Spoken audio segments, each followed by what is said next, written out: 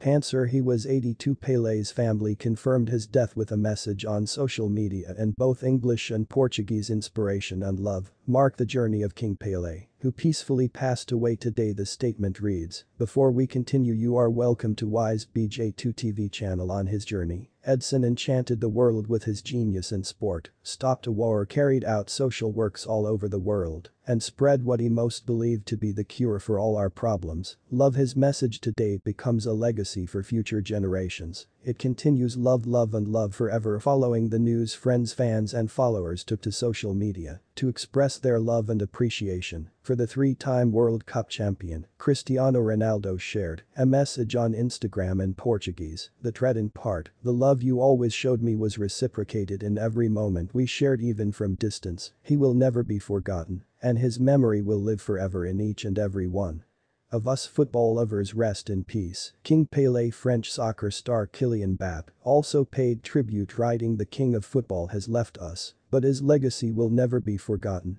even star athletes from other sports paid tribute with Usain Bolt, sharing his appreciation for a sporting legend rest in peace King Pele. Thanks For watching please don't forget to subscribe and turn on your notification bell for more update God bless you.